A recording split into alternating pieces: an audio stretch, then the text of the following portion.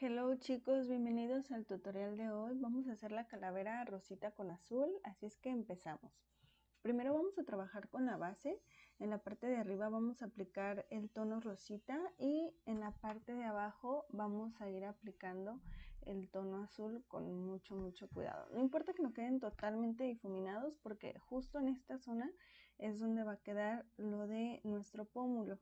Después con otro pincel vamos a empezar a crear difuminado en el ojo y con uno mucho más delgado vamos a trabajar el área del pómulo con su figura.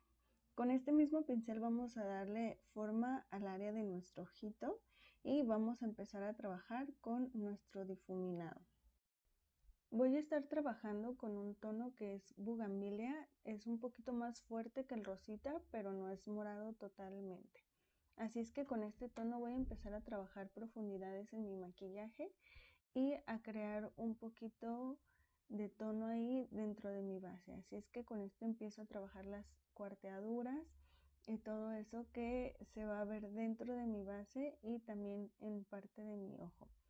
Con este mismo voy a trabajar un poquito los delineados y ahora en la parte azul Voy a utilizar un tono azul un poquito más oscuro para hacer exactamente el mismo proceso que hicimos en la parte de arriba.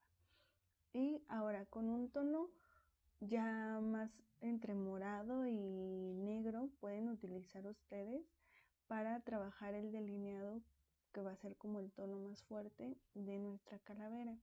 Aquí primero delineamos y después empezamos a crear nuestros difuminados para perder un poquito con los demás colores que ya aplicamos en nuestra base.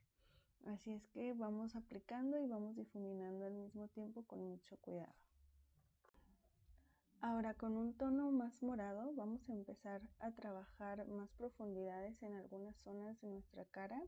Voy a empezar por el área de los ojos, pero vamos a trabajar también todas las cuarteaduras que estuvimos haciendo y los dientes también para empezar a trabajar con nuestra zona más profunda en esa área.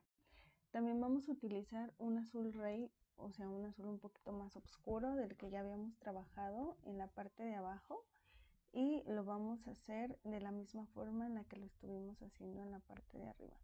No hay que quitar completamente el tono que habíamos trabajado anteriormente.